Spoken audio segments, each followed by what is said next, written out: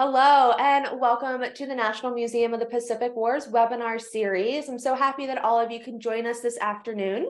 My name is Jacqueline Mertz. I am the Museum Programs Coordinator here. I would like to introduce our two speakers today, Reagan Grau, Director of Collections, and Chris McDougal, Director of Archives, as they provide an exciting behind the scenes look at some of the items that have been donated to the museum. Last year in 2022, Chris and I received a lot of unique donations to the collection.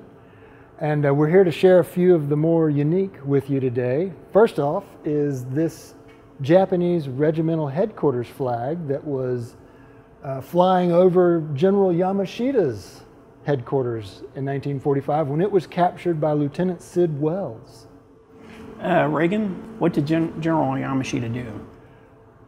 At the beginning of the war, General Yamashita was the conqueror of the Malay Peninsula in Singapore, accepted the British surrender at, the, at Singapore, and then he was assigned to China and had some obscure posts in China for, for quite a while before he returned to the theater, the active theater, and was appointed command over the Japanese 14th Area Army in the Philippines. And he was assigned to the Philippines right before the Americans landed at Leyte. So he showed up in the summer and prepared for the defense and was there when he was still he was still in the Philippines in command when the war ended. And he held out until September 2nd when the signing aboard the Missouri occurred. That's when Yamashita came in and surrendered. So was he on Luzon? I believe he was on Luzon. This was captured in Manila at, uh, at one of his regimental headquarters there. And you can see that it's full of uh, Japanese writing and, and things like that with perhaps signatures of staff officers, maybe some messages of good luck or well wishes. What's, uh, what's the emblem there in the center? I believe this is the Japanese kanji for strength. So what do we have here, Reagan? Chris, this is a Gertzner and Sons wooden toolbox made specially for machinists. So what is it doing here? This toolbox and the tools within it belong to a machinist that worked on the Manhattan Project. Wow. Now it came to us from uh, the machinist gave it to his neighbor, the donor, in the 70s. The donor was a budding machinist and, and received this as a gift from the uh, Manhattan Project machinist, and so he donated it to us last year.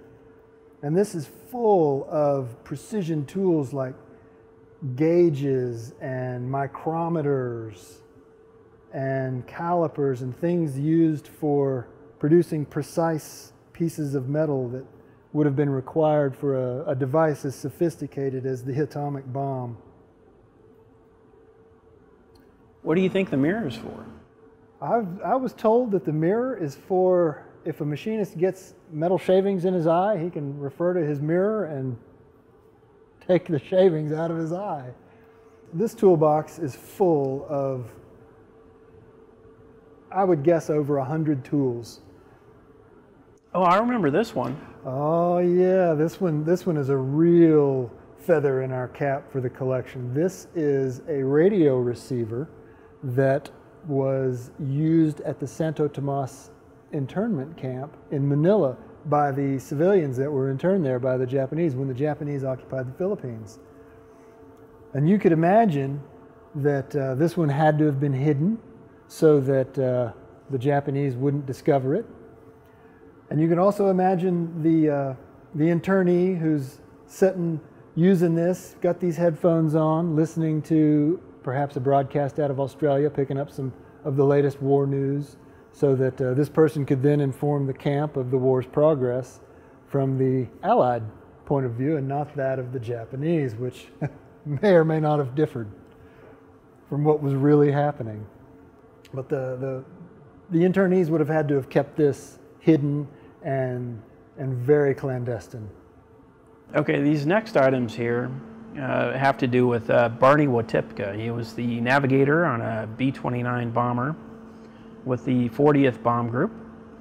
Uh, and as you can see here, uh, it's a mixture of items, uh, both archival uh, paper, photographs, and 3D items, the mirror and this bomb pin here. Uh, Reagan, you accepted the donation. Can you tell us a little bit about it? That's right. Uh, like you said, Wotipka was in the Army Air Forces, and he was on the very first B-29 raid of the war.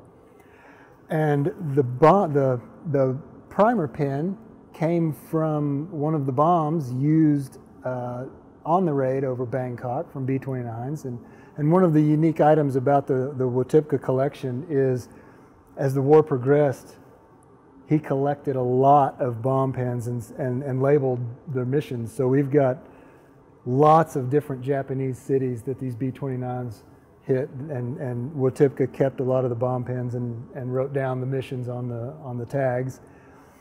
And another, another part of that story, Chris, is uh, the B-29 that Wotipka was in had to ditch on its way back to India into the Indian Ocean. Oh, wow. And Lieutenant Wotipka was able to use this signal mirror to alert the other bombers going over that they had made it, that they were safely on the water.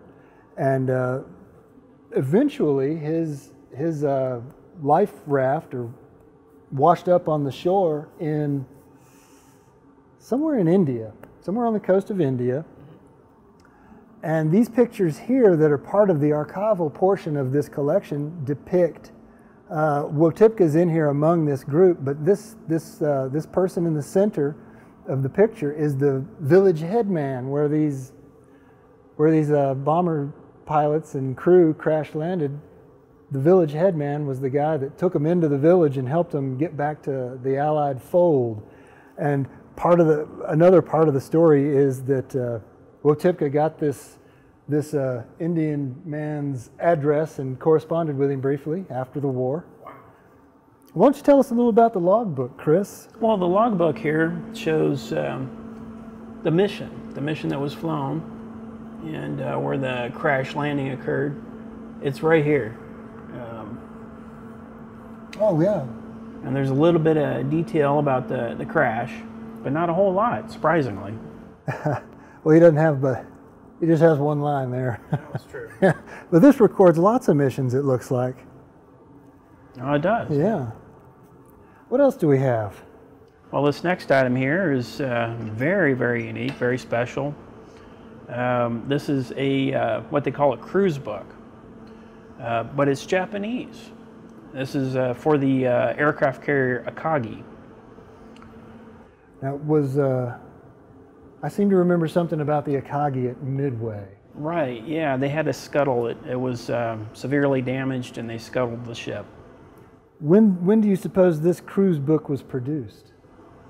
Um, as far as I can tell, it's from the uh, 1930s. We don't know exactly what year, but um, to verify that it's Akagi's, these two um, kanji characters right here.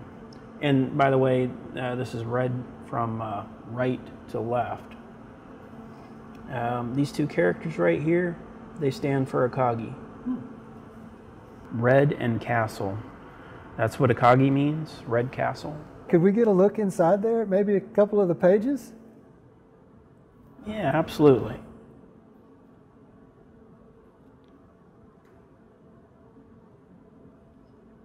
That's held up pretty well for something that's so oh, it's in, that's so old. It looks like it's in good condition. It's in remarkable condition, yeah.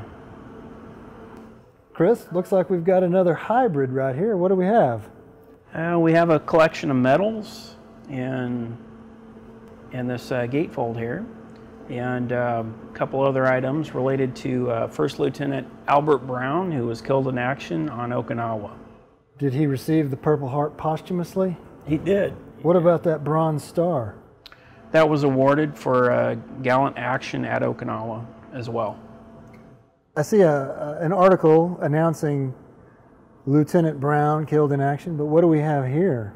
It's a uh, Christmas card that um, Lieutenant Brown sent home before he was killed. Chris, I've got something downstairs on display that came in last year too. You want to take a look? Oh yeah, let's go. All right. These two sculptures were donated in January of last year, and they are soapstone sculptures made by Tim Washburn, who lives and works in New Mexico. The larger sculpture depicts two Navajo code talkers in theater operating a radio and sending a coded message. The other smaller sculpture depicts two veterans later in life. One of them is holding a folded flag. Now, these sculptures do not depict any specific individuals, but together tell the story of Navajo's service in World War II and as veterans in the post war era. Now, Washburn retrieved the soapstone from the Navajo Nation in Arizona, of which he is a member. So, Reagan, what do we have here? We have a Type 92 Japanese machine gun brought to you by, or rather, brought home from Guam by a, a, a Naval Construction Battalion commander. He, he brought this one home, and it's, it's disassembled right now. You can see some, some pieces that we've got. Uh, like, here's the rear sight post.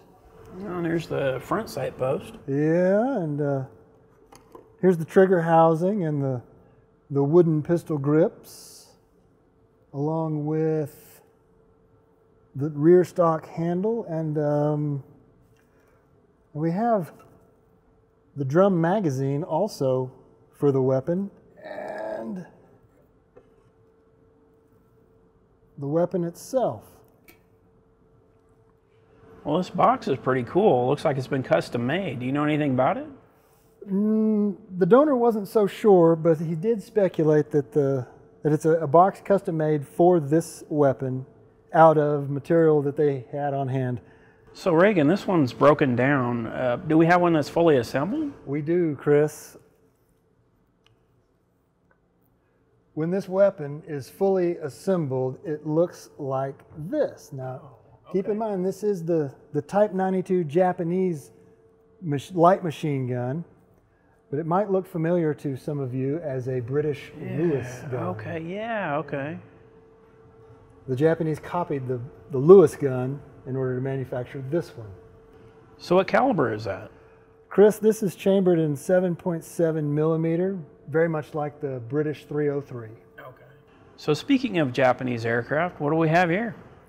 This is an aerial reconnaissance camera that the Japanese would have mounted to one of their aircraft in order to photograph maybe a landing beach or an enemy installation or enemy fortification or maybe some topography of a certain area.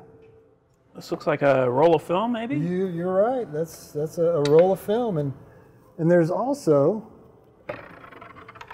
deeper inside this box, another box that contains a lens that you that that uh, the photographer can attach inside the the camera's aperture there. So Reagan, where did this come from? These two these two Japanese aerial reconnaissance cameras were donated at the same time and the donor's father picked these up at a Japanese airfield right when the occupation started, just as the war ended. Speaking of photographs, Chris, what do we have here?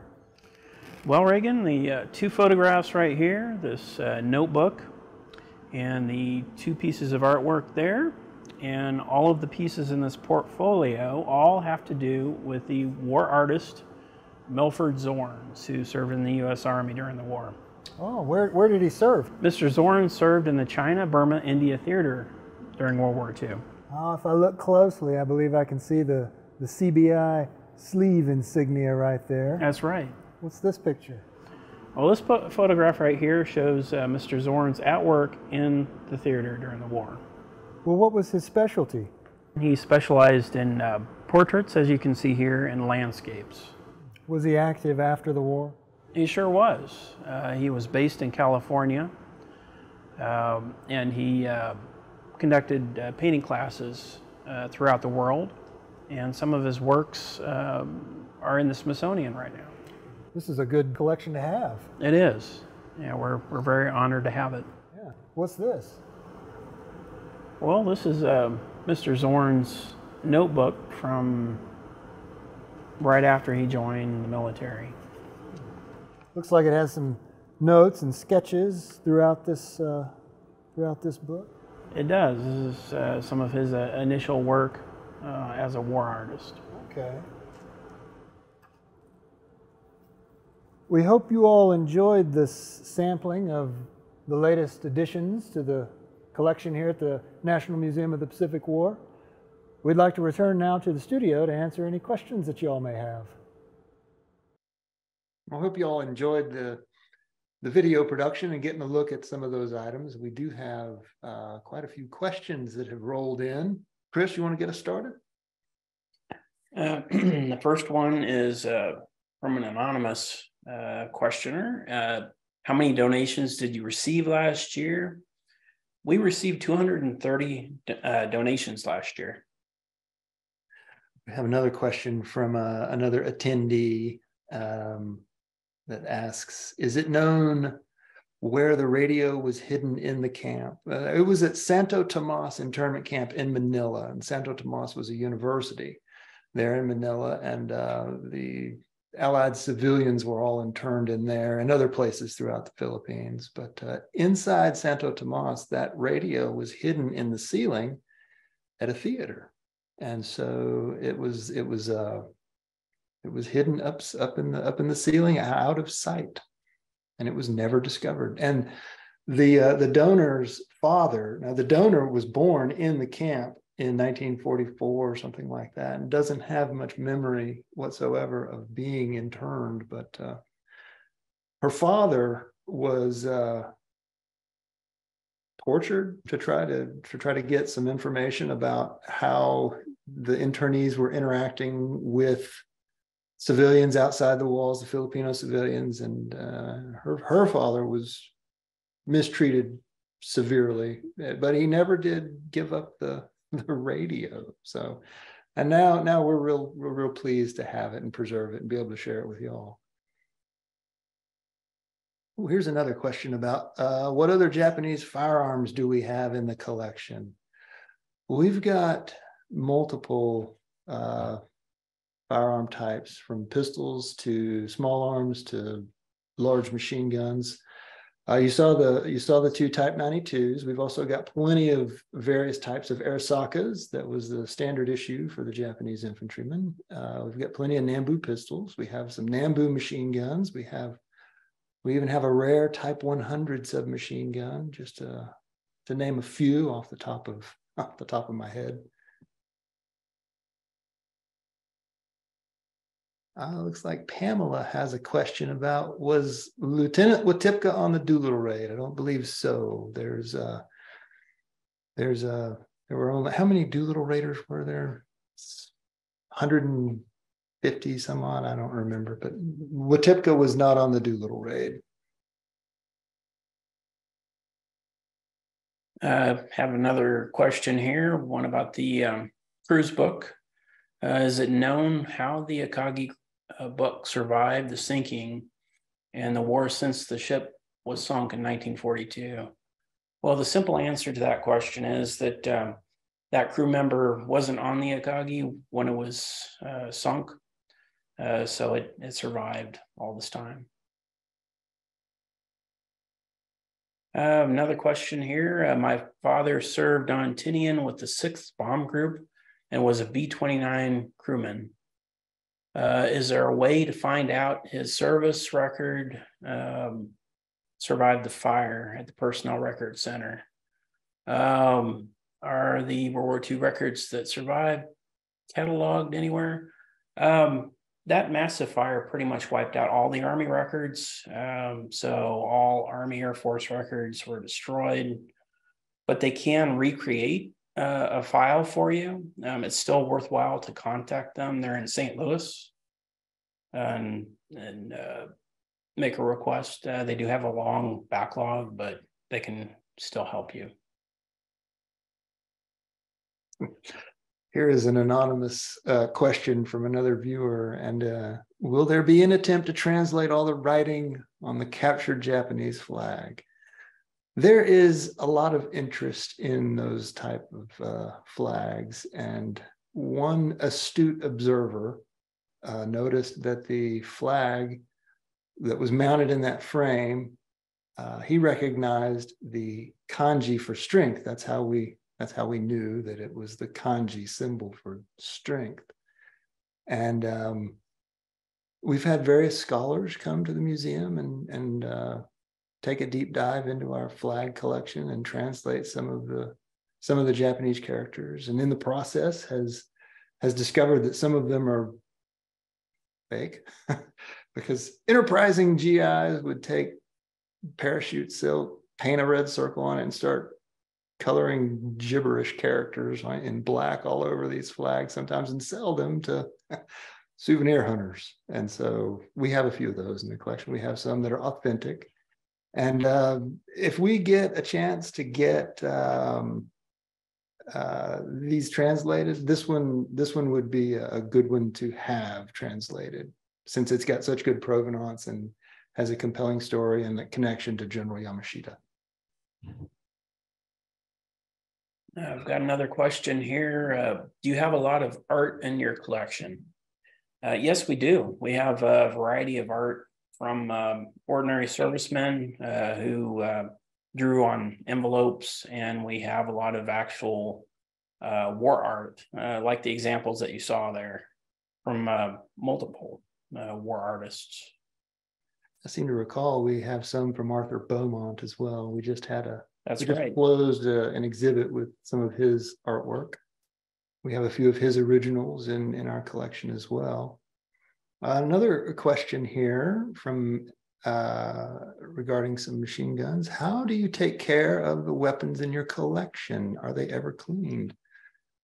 Well, we do uh, our best to preserve these these weapons. Uh, we have a process underway right now. We're going to discuss it in a, a future webinar later in the summer about what we're doing to preserve these weapons. Uh, short answer: yes, we are. Uh, tune in later for more details on exactly how and what we're doing and get a good glimpse into the kinds of weapons that we do have in the collection. Got a question about volunteering here. Uh, is it possible to volunteer to help transcribe letters at the museum? Yes, absolutely. Um, the person to contact is uh, Kina down at the education department, and uh, she could help you with that.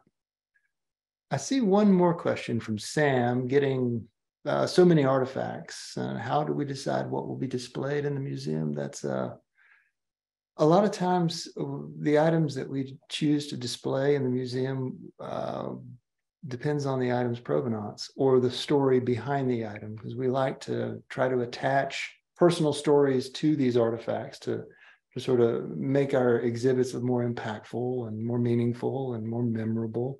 And so if uh, if an item's got a really good story behind it, chances are it'll be a good contender for display. And by meaningful stories, uh, if you recall seeing the Wotipka collection and all of those, you know, that signal mirror and those bomb pins and the photographs and, and things like that, those are, you know, if, if we know the item's provenance, then then it's a it's a good, like I said, good contender for display.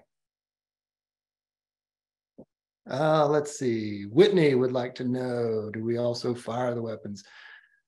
Uh, we have a we have a uh, another collection of weapons that uh, is used for educational purposes, and and a lot of those are in fact adapted for blank fire, and are featured in living history programs here at the museum. And so, uh, some of the weapons are in fact fired but we also have those that are in the permanent collection that uh, are not. Uh, they're they're not they're they're used only for uh, display purposes, not necessarily for educational purposes, and so we we do have uh, plenty of both.